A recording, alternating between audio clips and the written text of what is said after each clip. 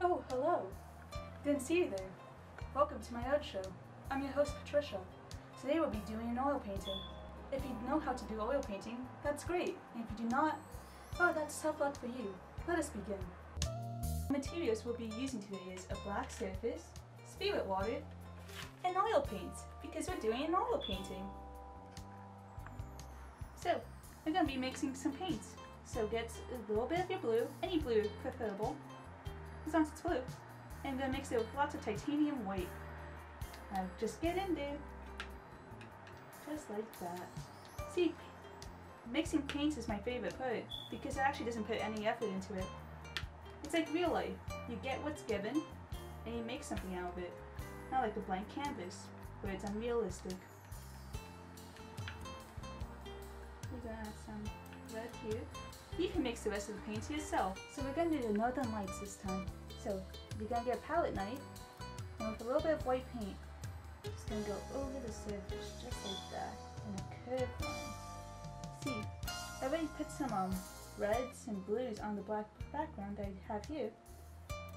So you can see a bit of like a pink color. Now I hate pink, but it looks nice on canvas. I'm gonna do like three northern lights and you can do them in whatever shape you want. Except don't do them geometric because that's not real life.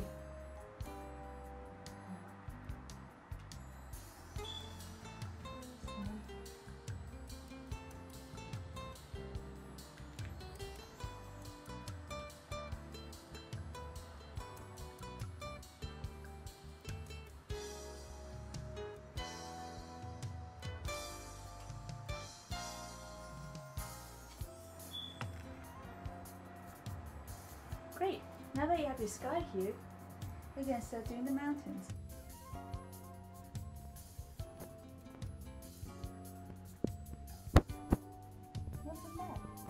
Okay, now that we have like the mountain set up, we're gonna do the water line. Okay, next up we're gonna do the trees. This tree seems lonely, so we're gonna add a friend.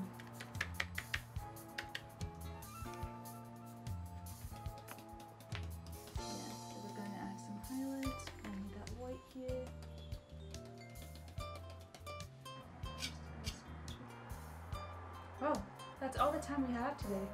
Thank you for joining me. But if you don't mind, I gotta get back to my 3DS to play Animal Crossing New Leaf. So long!